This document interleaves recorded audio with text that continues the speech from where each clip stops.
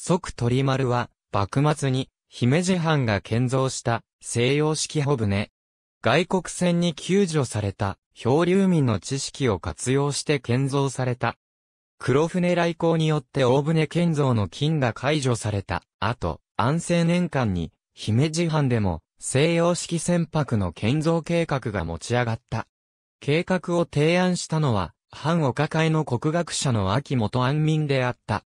ちょうど、姫路藩では、遭難、漂流中にアメリカ船に救助された船乗り4人が帰国してきたところで、その対応係だった秋元が漂流民の知見を活用することを思い立ったのである。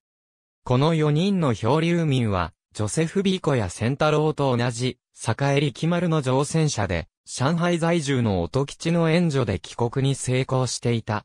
うち、聖太郎と源次郎は私文に取り立てられて、本庄善次郎と山口洋五郎を名乗っている。安政2年10月13日に建造計画がまとまり、藩は源次郎を矢倉閣、聖太郎を、矢倉閣、取り扱い置船道として、建造作業に携わらせることにした。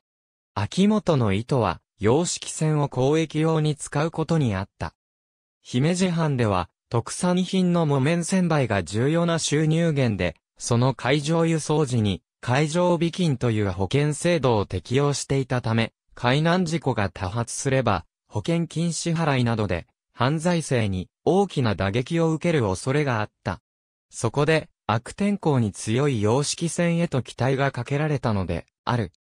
一番船は安政4年11月に密造船所で寄港され、安政5年6月24日に浸水、即、鳥丸と命名された。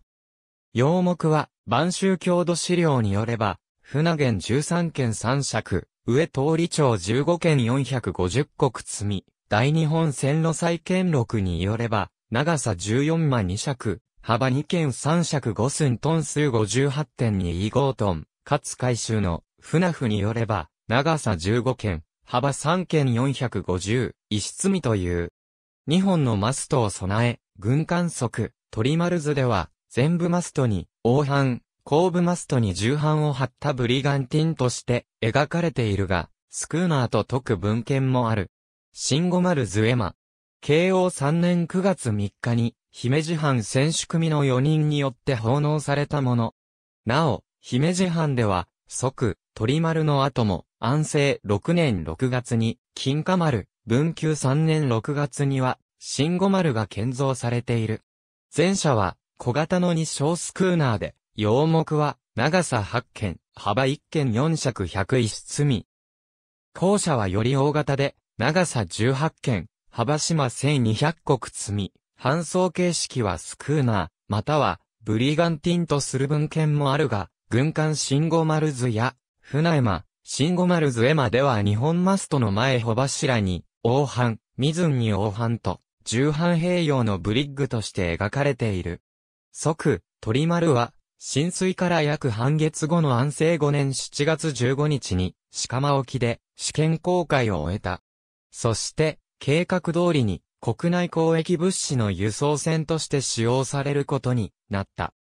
最初の実用公開では、江戸品川沖まで10日間で到着し、往路は、米船秒、木綿30個、石を100国と、先客18人、袋は、星化や大豆を無事に運んだ。以後も、米や木綿、砂糖、購入兵器などを運び、犯罪性の立て直しに貢献した。明治5年までに行った航海は80回に及んだ。